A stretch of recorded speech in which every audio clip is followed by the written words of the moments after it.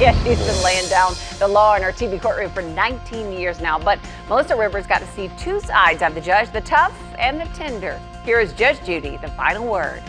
Listen to me. Sure. It's finished. Ultimately, I make the decision, and I like it a lot better that way. You thought this was going to be easy? She's been the hard nosed judge in TV's most popular courtroom, but Judy's a softie at home with her 13 grandkids.